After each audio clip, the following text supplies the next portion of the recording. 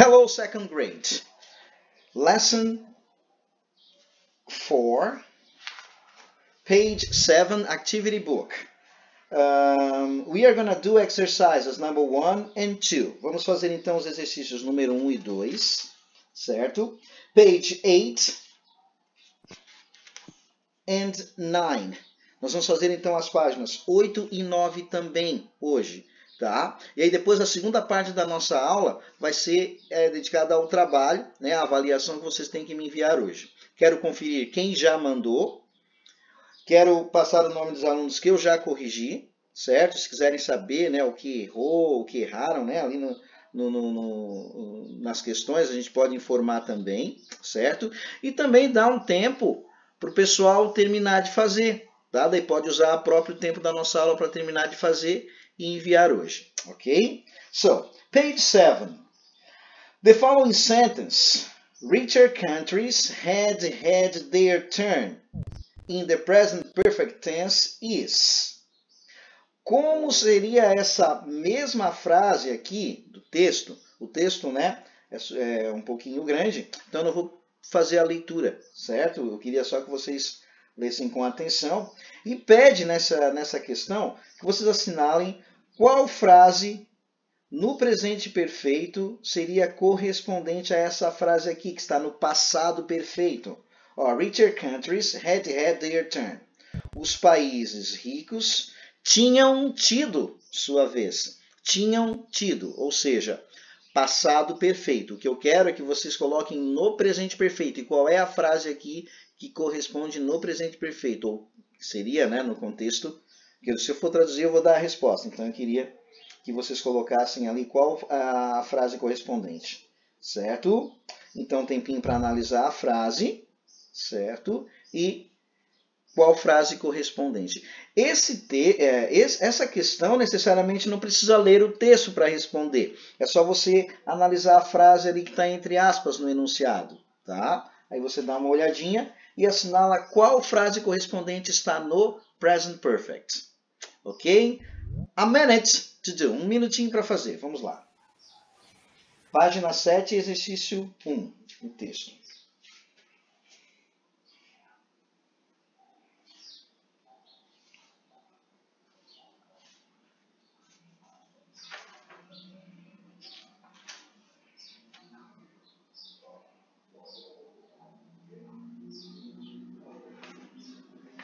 Porque é uma questão que necessariamente não precisa ler o texto, né? é só analisar ali em que tempo verbal no, é, seria a alternativa correta no presente perfeito. A mesma frase.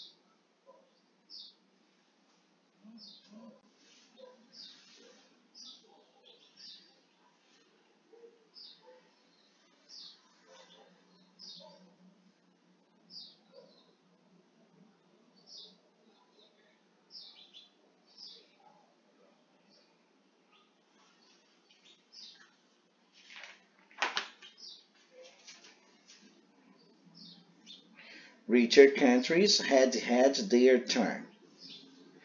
So, let's check, shall we? Which sentence corresponds in the present perfect to this one? Qual frase corresponde, gente? No presente perfeito. Richer countries had had their turn. É a B? Letra B, letter B. Richer, uh, richer countries have had their turn seria a frase correspondente no presente perfeito. Had, had vira have, had. Had, had, have, had. Perfeito. Ok. Number two. Um, pasta. Edible geometry. Aqui nós temos um pequeno texto, certo? Ó, esse texto ele é menorzinho, né? Tem a parte da leitura que eu queria fazer com vocês. E uh, vou fazer assim. Eu vou dar um tempo para vocês lerem o texto, certo? É um texto pequeno. E depois eu vou pedir, ó, eu vou ler o início e depois eu vou pedir para dois alunos terminarem de ler, tá? De, eu vou ler até test. Aí depois in the até, deixa eu ver aqui, Asian type, certo? Aí um aluno vai, ver, vai ler de in the até Asian type e depois de certain até be similar. O outro aluno completa. Mas primeiro leiam o texto e respondam as seguintes perguntas. Page 8. According to the text, it is true to affirm that. De acordo com o texto, é verdadeiro afirmar que. Number 3. Choose the option that correctly completes the following sentence. Vocês vão escolher a opção que melhor completa a seguinte frase. Certo? And the last, and number four, we are going to do number four too.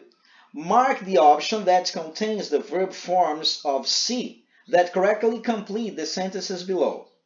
Qual é a opção que contém o verbo na, nas formas né, do verbo ver corretamente que completa a frase? Então, qual a alternativa em que o verbo ver na forma correta completa a frase? Todos eles né, têm o verbo se, mas qual que está na forma correta para completar ali as duas frases? Ok? I'm gonna give you what time to do. Let's go.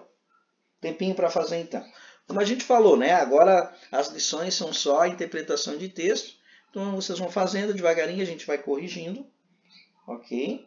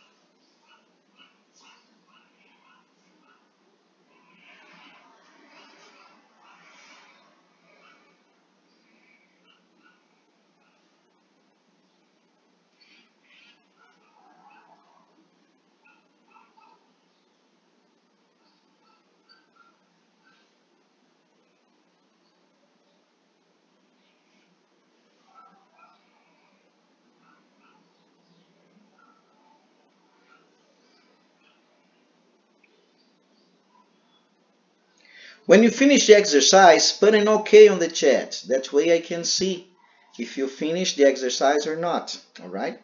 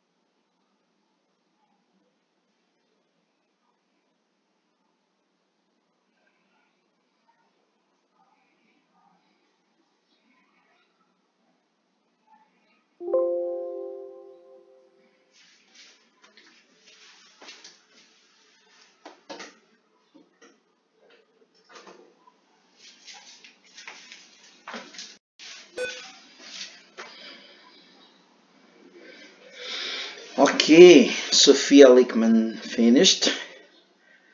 Trietro finished, all right. Let's wait for the others.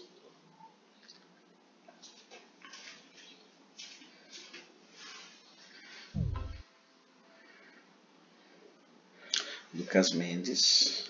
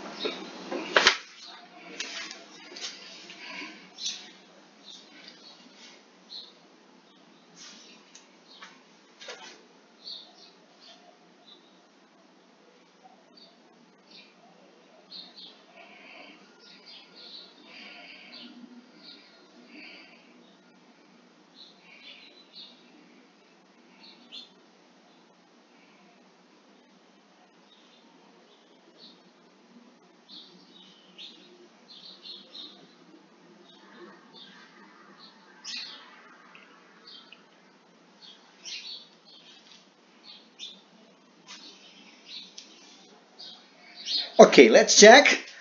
But first, let's read the text. I'd like you to take the text with me.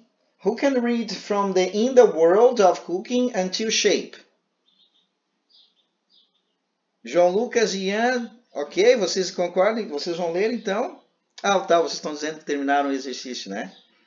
Alright. Quem pode ler então? Eu vou ler até test. Quem lê de In the World until type. Quem pode ler? Who can read it? Pode ser, professor. All right. Okay. And who can read until certain, from certain until similar? Who can read this one? Come on, guy, let's go. Eu posso ler. All right, thank you, girl. Let's go. Pasta, edible geometry. Então, maca massa, né? Macarrão, qualquer tipo de massa, uma geometria comestível. Esse é o título do texto. Pasta is a, a architecture designed for the taste buds. Every single shape is a brick, different in form, consistency, and color to create an extraordinary construction, both physical and mental, a true expression of taste. In the world of the cooking, there are around, uh, como é que fala, professor? 350 350 different types of pasta, and probably approximate, approximately four times as, as many names for them. They can be divided divided in divided in four groups: long-shaped flat pasta strands, short-shaped and tubular pasta, small pasta for soup, stuffed shape as in type. Certain shapes of pasta and size are used for specific purposes, while others can be used in several different manners. New shapes are also being designed and named every day. Only with the mouth is it possible to distinguish between all the types of pasta without seeing them.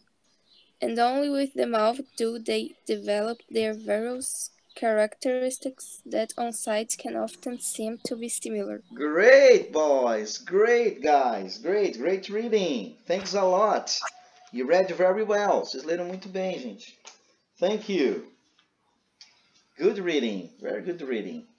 According to the text, it is true to affirm that. De acordo com o texto, então, é verdadeiro afirmar que. Which alternative? The question is in the air. Letter B, Rafaela Alves. Yeah, you are right. The shapes of pasta differ not only in form but also in consistency and color. Great. Letter B. Number three, choose the option that correctly completes the following sentence. Swelling, a model for 10 years. Today's, today she is a TV presenter. A model for 10 years. Today she's a TV presenter. Qual seria a alternativa correta? No número 3. Letra D. Had been.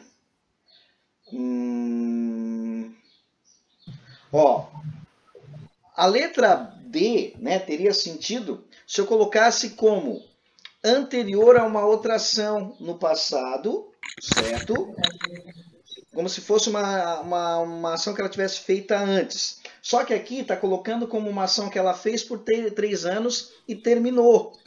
Ela não faz mais. E se ela fez essa, essa ação por, por 10 anos, perdão, e terminou, não faz mais essa ação por 10 anos, perdão, então a frase correta teria que ser no past, no simple past, passado simples, letra B.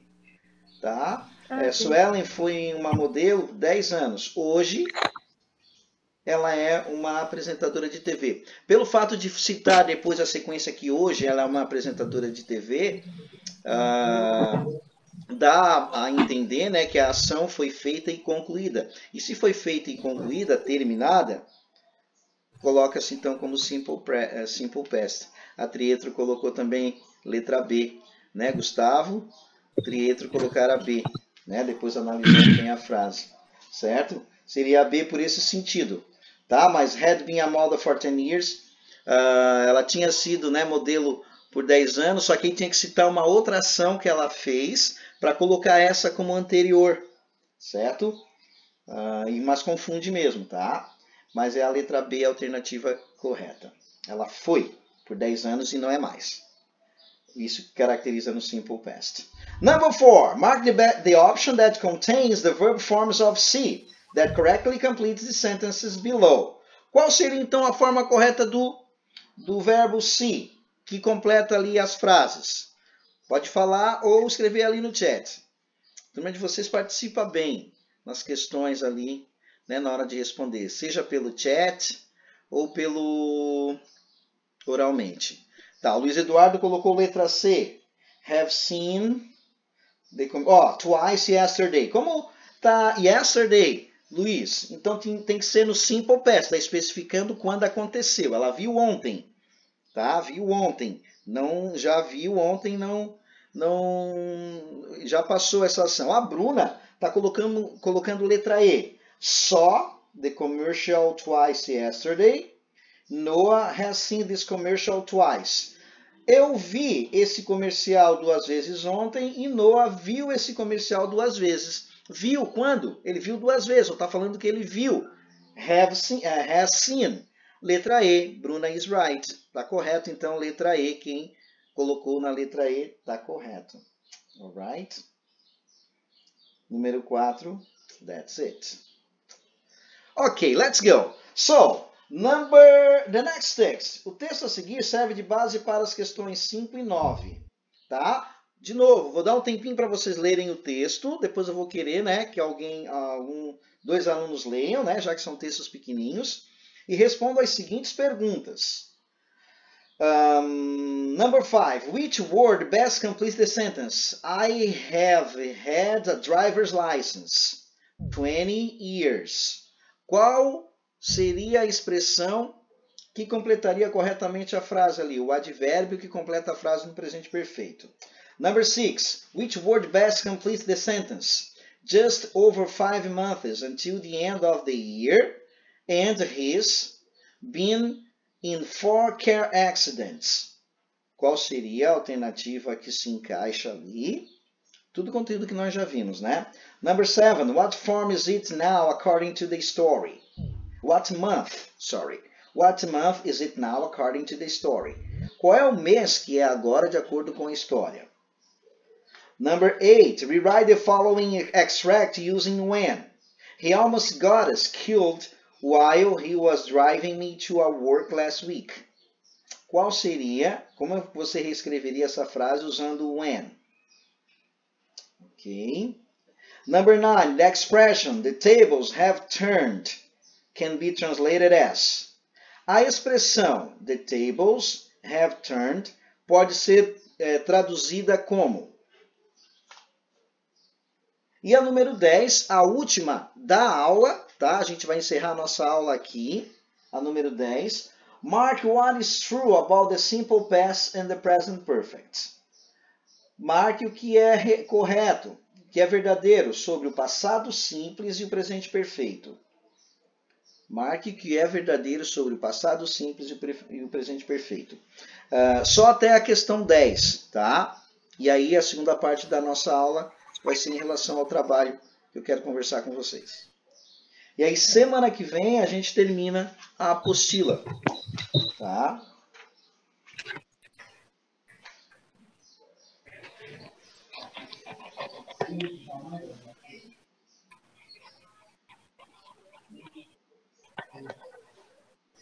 Professor, eu tive um pouco de dúvida no trabalho.